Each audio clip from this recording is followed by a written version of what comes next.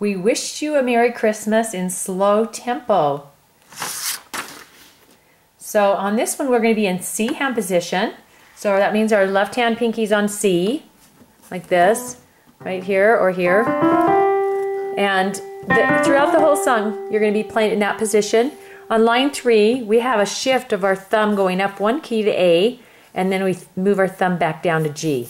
Otherwise, we're in the C hand position. So here we go. C,